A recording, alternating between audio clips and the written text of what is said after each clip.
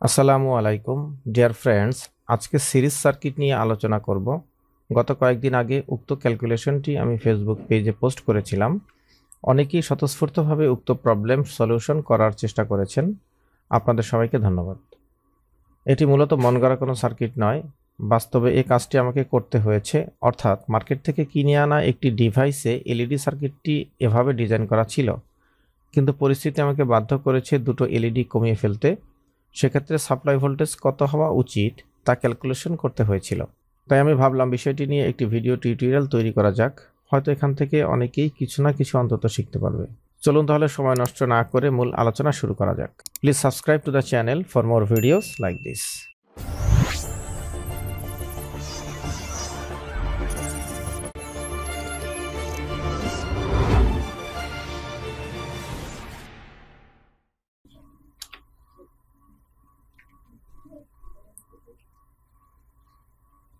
তো বন্ধুরা, আমরা আলোচনার মূল পর্বে চলে আসলাম।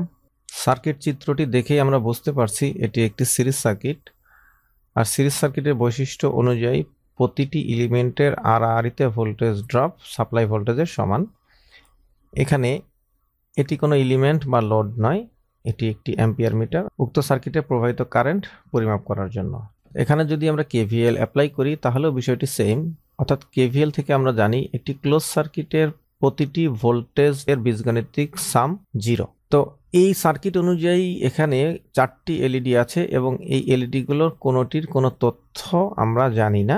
তো এখান থেকে দুটো এলইডি মাইনাস করতে হলে সাপ্লাই ভোল্টেজ কত প্রয়োগ করলে load current eleven point four milliampere হবে তাও আমরা জানি না। তো এই অবস্থায় সার্কিটের যে কোনো একটি এলইডি এর আর আরিতে ভোল্টেজ ড্রপ যদি আমরা ক্যালকুলেশন করে বের করতে পারি, তাহলে উক্ত ভোল্টেজকে দুই দ্বারা গুণ করে সেই পরিমাণ ভোল্টেজ সাপ্লাই ভোল্টেজ থেকে মাইনাস করলে আমরা যে রেজাল্টটি পাবো সেটি হবে উক্ত সার্কিট থেকে দুটো এলইডি কমিয়ে ফেলার পরে সাপ্লাই ভোল্টেজ তো সেক্ষেত্রে যা করতে হবে প্রথমেই আমরা এখানে একটি রেজিস্টার আর ওয়ান দেখতে পাচ্ছি, যার value two seven zero ohms এবং এই রেজিস্টরের মধ্যে দিয়ে প্রবাহিত কারেন্ট তথা সার্কিটের মধ্যে দিয়ে প্রবাহিত current eleven point four milliampere যা কিনা এলইডিগুলোর মধ্যে দিয়েও প্রবাহিত হচ্ছে according to the series circuit তো আর ওয়ানের আর আরিতে আমরা ভোল্টেজ ড্রপ বের করব এবং সেই পরিমাণ ভোল্টেজ ড্রপ আমরা সাপ্লাই ভোল্টেজ থেকে বিয়োগ করব। তাহলে যে অবশিষ্ট ভোল্টেজ আমরা পাবো তা হচ্ছে এলইডি ওয়ান টু থ্রি এবং ফোরের সমন্বিত সাপ্লাই ভোল্টেজ সেই ভোল্টেজকে যদি আমরা চার দ্বারা ভাগ করি, তাহলে যে কোনো একটি এলইডি এর আর আরই ভোল্টেজ ড্রপ আমরা জানতে পারব। এবং সেই পরিমাণ ভোল্টেজকে যদি আমরা দুই দ্বারা গুণ করি, তাহলে যে কোনো দুইটি এলইডি এর আর আরই ভোল্টেজ ড্রপ আমরা জানতে পারব। তখন উক্ত ভোল্টেজকে যদি আমরা সাপ্লাই ভোল্টেজ থেকে মাইনাস করে দেই, তাহলেই আমাদের এক্সপেক্টেড সার্কিটে সাপ্লাই ভোল্টেজ কত হবে, সেটি আমরা সহজেই বুঝতে পারব।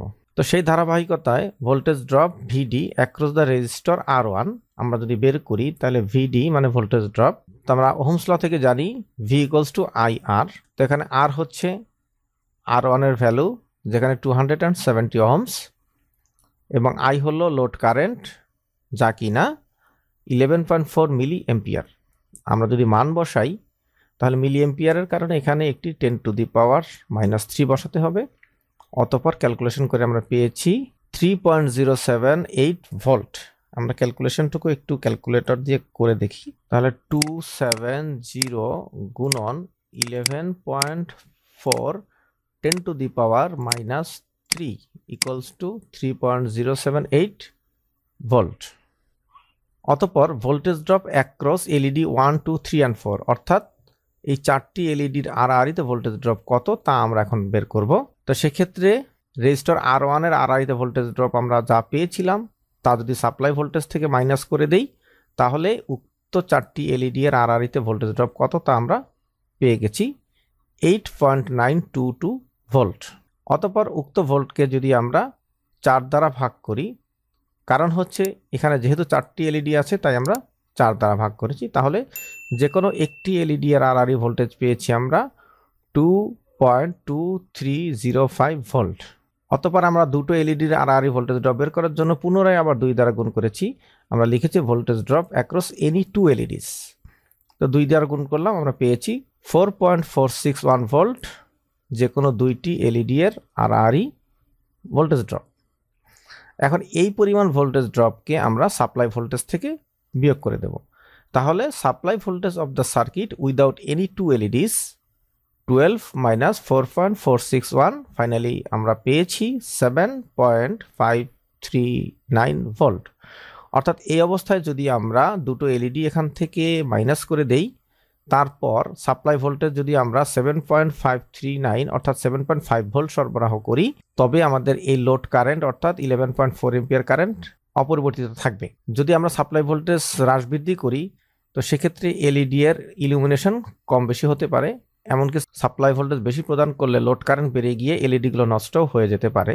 তো আমরা লোড কারেন্টকে eleven point four milli ampere এই ভ্যালুতে কনস্ট্যান্ট রাখার চেষ্টা করেছি এবং সেই অনুযায়ী ক্যালকুলেশন করে আমরা ভোল্টেজ পেয়েছি seven point five three nine volt তো চলুন তাহলে বিষয়টিকে আমরা একটু সিমুলেশনের মাধ্যমে পরীক্ষা করে দেখি যে আমাদের ক্যালকুলেশনের সঙ্গে সিমুলেশনের কি সিমিলারিটি আছে। তো এখানে আমি দুটো সার্কিট ড্র করেছি, একটিতে চারটি এলইডি আছে, আরেকটিতে দুটো এলইডি আছে। এখানে এই ভোল্টমিটারটা আমরা যে কোনো একটি এলইডি এর আড়াআড়িতে ভোল্টেজ ড্রপ কত সেটি পরিমাপ করতে পারব এবং এই ভোল্টমিটারটি দ্বারা আমরা এই আর ওয়ান রেজিস্টারের আড়াআড়িতে ভোল্টেজ পরিমাপ করতে পারব এবং অ্যাম্পিয়ার মিটার উক্ত সার্কিটের কারেন্ট প্রবাহ পরিমাপ করবে। তো সেখান থেকে আমরা দেখব যে আমাদের ক্যালকুলেশনের সঙ্গে এর সিমিলারিটি কতটুকু। আমরা সিমুলেশন অন করছি। যেহেতু সুইচটি অফ আছে, তাই এলইডিগুলো জ্বলছে না এবং আড়াআড়িতে কোনো ভোল্টেজ ড্রপ নেই এবং সার্কিটে কোনো প্রবাহিত কারেন্টও নেই। আমরা সুইচটি অন করলাম। এখন দেখা যাচ্ছে যে প্রবাহিত current eleven point four milli ampere এবং এলইডি টু এর আড়াআড়িতে voltage drop two point two three যা আমরা কিছুক্ষণ আগে ক্যালকুলেশন করে পেয়েছি। এবং আর ওয়ান রেজিস্টরের আড়াআড়িতে ভোল্টেজ ড্রপ আমরা ক্যালকুলেশন করে পেয়েছিলাম। ঠিক সেই পরিমাণ ভোল্টেজ ড্রপ আমরা এখানে দেখতে পাচ্ছি। রেজিস্টরের আড়াআড়িতে আমরা ভোল্টেজ ড্রপ পেয়েছিলাম three point zero seven eight volt এবং যে কোনো একটি এলইডির আড়াআড়ি ভোল্টেজ ড্রপ পেয়েছিলাম আমরা টু পয়েন্ট টু থ্রি তো এমতো অবস্থায় আমরা যদি সার্কিট টু অন করি তাহলে আমরা ক্যালকুলেশন করে যে ভোল্টেজ পেয়েছিলাম, সেই পরিমাণ ভোল্টেজ আমরা এখানে সরবরাহ করেছি, আমরা সুইচ টু অন করছি। তাহলে বন্ধুরা দেখতে পাচ্ছেন, এখানে ঠিক পূর্বের ন্যায় eleven point four milli current প্রবাহিত হচ্ছে এবং যে কোনো একটি এলইডি এর আরআরই voltage drop two point two three পেয়েছি। তাহলে সাপ্লাই ভোল্টেজ আমরা সরবরাহ করেছি seven point five three nine তো এই সিমুলেশন থেকে আমরা যেটা বুঝতে পারলাম, তা হচ্ছে আমাদের ক্যালকুলেশনকৃত তথ্য এবং সিমুলেশন থেকে প্রাপ্ত তথ্য সঠিক আছে। তো এমত অবস্থায় উক্ত সার্কিটটিতে যদি আমরা দুটো এলইডি কমিয়ে ফেলি এবং সেই পর্যায়ে যদি আমরা supply voltage seven point five three nine volt সরবরাহ করি, তাহলে সার্কিটটি পূর্বের ন্যায় যথাযথভাবে তার কাজ সম্পাদন করতে পারবে। তো বন্ধুরা, এই ছিল আজকের বিষয় নিয়ে আলোচনা। কথা হবে পরবর্তী ভিডিওতে। সেই অবধি সবাই ভালো থাকুন, সুস্থ থাকুন এবং ট্রিপলি ক্যাম্পাসের সঙ্গেই থাকুন। আল্লাহ হাফেজ।